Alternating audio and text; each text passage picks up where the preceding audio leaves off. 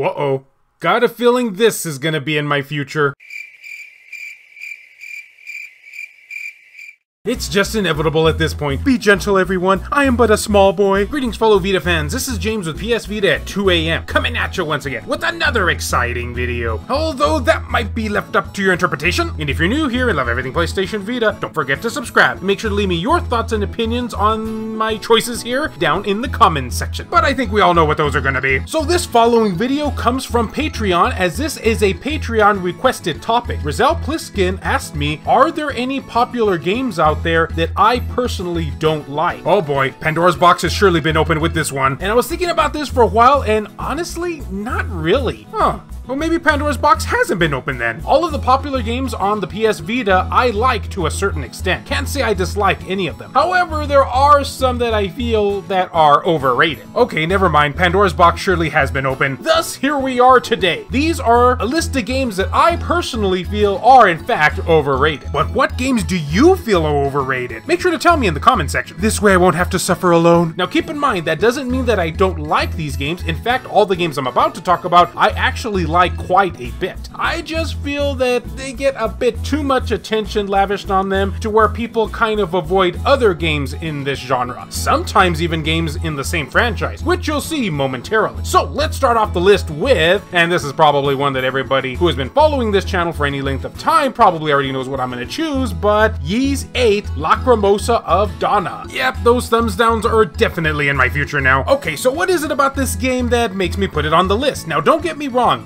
Ys 8 is a fantastic action RPG. It has great characters, it has a great storyline, it even has a pseudo Gilligan's Island kind of feel to it in that you're stranded on this island. Though a bigger question to ask yourself at this point is how many people out there actually got that Gilligan's Island reference? The boss battles are epic, the leveling up system is nice. I just feel that the timing for this game overshadowed another game on the PS Vita that often gets overlooked, which is Tokyo Xanadu, which is a game I talked about not that far off ago. It's essentially the same game game at its core aspect here. The only difference between Xanadu and Ys is that Xanadu is a bit more of a dungeon crawler action RPG, while Ys is more of like an open world action RPG. Geez, now that I'm saying that out loud, I wonder why one overshadowed the other. Gosh darn open world powers, you're just too strong for me. So you can kind of see why this game overshadowed the other, which is really ironic because both of them come from the same company, Falcom. Yeah, it was just poor timing on this one, but I will say that if you haven't had a chance to check out Tokyo Xanadu, then you really should because it's certainly a worthy title on the PS Vita. And better than Lacrimosa of Dana.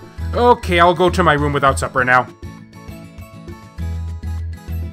So sticking to our guns with the whole stranded on a deserted island aspect, seriously, did anybody out there get that reference? We are talking now about Danganronpa 2. So I think we know about the Danganronpa series, right? A group of kids is stranded for unknown reasons and the only way they can escape is by murdering another student and not get caught. Also, this franchise seems to have a bear fetish. Just thought I'd point that out. And the gameplay itself plays like part visual novel, part Phoenix Wright, where you gotta figure out who done it. So why am I picking Danganronpa 2? I mean, they're essentially all the same thing, right? Well, if you ask any fan of the series, chances are they're gonna say that their favorite entry in said franchise is in fact the second entry. And I personally am going to call foul on this. In other words, everybody is wrong except me which means everybody is probably right except me. Because while the characters and story were great, I feel like the second game kind of overshadows the first one. I just really don't care to be stranded on a deserted beach, unless it's that show. I mean, yeah, I guess depending on who you talk to, it still can kinda give you a feeling that you're trapped. But compared to the first one, which just gave you such a fantastic feeling of claustrophobia and isolation, this one, in my personal opinion, just kinda seems to fall flat. Because you are trapped in a giant school with no way out, which I personally feel is a lot more intense than being trapped on a beach, where it's all bright and sunny and there's umbrellas and iced tea and stuff like that. Not to mention the more tropical theme music that plays. It's tropical music of death, but you know, still tropical music. And while I understand where they were trying to go with the whole deserted beach idea, it just didn't give me that feeling. Plus, I kinda like the characters better in the first game. Except for Mikan and Chiaki, they're still best girl. It also had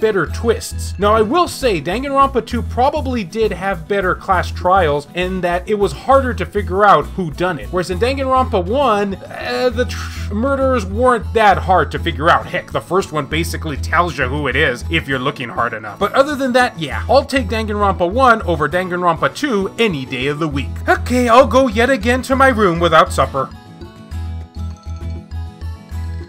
Next up is Soldner X2 Final Prototype. Yep, we're tossing a shmup into this bad boy. And I hate to repeat myself on this phrase, but if you were to ask any PS Vita fan what their favorite shmup is on said PS Vita, chances are you would hear this game's name brought up. And trust me, I'm shaking my fist as I say that. And although I don't feel like it quite reaches the high plateau of being overrated, at least when compared to other games on this list, it is still a game that overshadows other titles in the same franchise. Oh, and don't worry, I'm still shaking that fist. Now again, Again, Soldner X2 Final Prototype is awesome. Great 3D graphics, a great soundtrack, great power-ups, with some fantastic unlockables. Yeah, you don't just go from point A to B and then unlock the next level. You actually have to fulfill some requirements in each level in order to obtain this. And you gotta fight an alien force, because how could you not in a shmup? 10 out of 10 all the way. Well, maybe a solid 9. So why is this game on the list? Well, again, I feel like this title overshadows other titles on the PS Vita, thinking off the top of my head right now, such as Vasara Collection. This too is a shmup,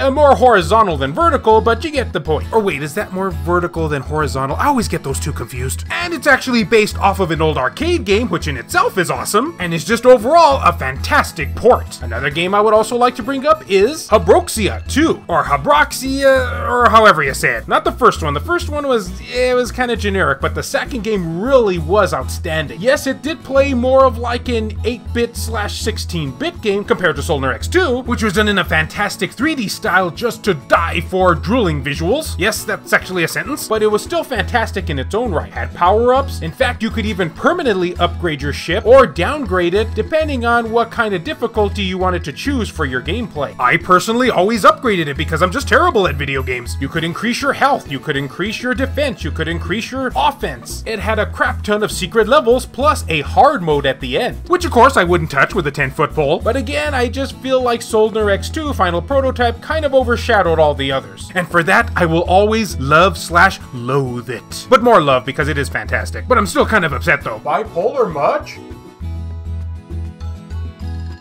So next up here is, well, my gosh. If Ys 8 wasn't obvious enough, then I would say that this next entry probably needs no introduction. It certainly takes the cake, the whole enchilada, if you will. This here is Persona 4 Golden. Honestly, do I even need to speak of why this game is kinda overrated? Yeah, I say that as everybody is no doubt picking up their torch and pitchforks at me now. The Persona series just in general has been blowing up as of late, and this game is in fact one of the reasons it started to do so. In fact, you could kind of say this is the ball of yarn that got the ball rolling, if that makes sense. Eh, wasn't that good of a metaphor. So, Persona 4 Golden. I've played it, you've played it, we've all played it, and we all love it. You got an epic murder story, social links along with waifus, which is my personal favorite, a fantastic soundtrack that will just get in your head every single time. I mean, the music was so epic that they ended up making a spin-off series because of it. Multiple endings, a memorable cast of characters, and uh, I could go on here. So why is it overrated? Again, I'm probably just stating the obvious here, but because this game is in fact so connected to the PS Vita that I feel a lot of people, especially those who are not familiar with the PS Vita, think like this is the only worthwhile game playing in its library. Which as we hardcore Vita fans know is definitely not true, because we do have in fact other games in this genre that are fantastic as well. As mentioned before, Tokyo Xanadu. I would also like to give a shout out to the Trails of Cold Steel series. Yeah, those are actually on the PS Vita as well. Well, two of them anyway. Still kind of a bummer that we never got the third entry, but it's not like I'm salty or anything. And then, of course, we can't forget about the Atelier franchise. There are so many of these games on the PS Vita. Even more so if you're willing to import. The Conception 2 game is even awesome on this platform, yet I don't hear nearly as many people talking about it, if at all. More leaning towards the if at all. So,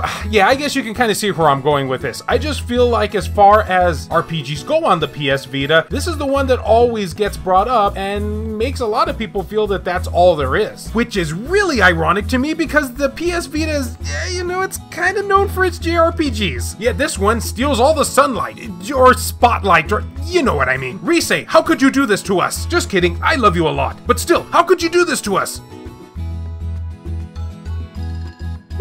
Got myself kind of overworked there with that last one. So anyway, guys, that is just really a small portion of the games that I personally feel are overrated on the PS Vita. But I don't want to turn this into a hate video, so I think I'll just stop there. You kind of get the picture at this point. Huh, wonder how many of these I've acquired so far. But guys, I would love to know what games do you feel are overrated on the PS Vita? And what games do you feel deserve more attention than said games that you feel are overrated? Please let me know down in the comment section where we can all have like one giant flame war, probably, I'm assuming. It's bound to happen. And as always, fellow Vita fans, thank you so much for taking the time out of your day to watch this video. It really means a lot to me.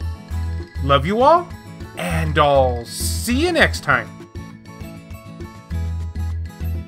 This video has been brought to you in part by all of these wonderfully generous supporters who help make this content possible. So a huge thank you goes out to Buzz Sayin, Hector Gonzalez, Franz Hartle, Chris Foxhound, Rizal Pliskin, Kayonko, Oridri, 1488 Dental, Burzin Mystery, No Good, Azumara, Juan M. Hermosillo, Lacerated 87, Nintendo Switch at 2 a.m., Eric DeWitt, Donut Valley, Tasha Monty, Starlight Mirror, Ricardo Martinez, Mazgust, PSP Guru, Dr. Super Artie, Matt Hargett, Jamie, Sabin Fire, Airkick 72, Legion 21, Randy Azudech, Wathorga, B Mystery, Zicrito, Matt Fox, Alan Iwazu, Reiko Star, Shin Snake, Arashi, Milk Sama, Meshuga 360, Hushin Ryu Cat, Berserker Games, Hero Acer, BMF, Phantom XRS, Gutter Drums, Adam Sondi, Clayman Merlarky, Saul Ramirez, Hemdall Imber, PS Vita S, VG Legends, Kyle Brooks,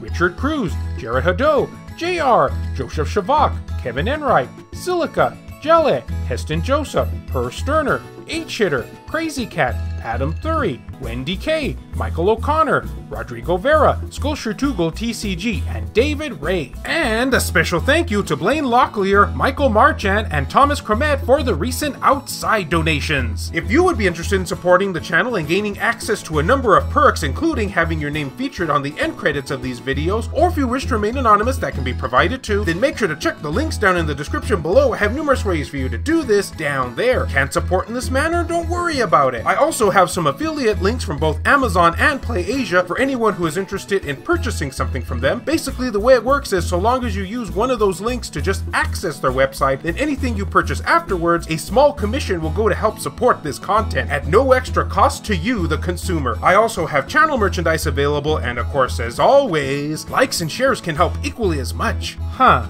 So I wonder how many thumbs downs I've accumulated since the making of this video. I'm gonna check on that right now. Holy cow.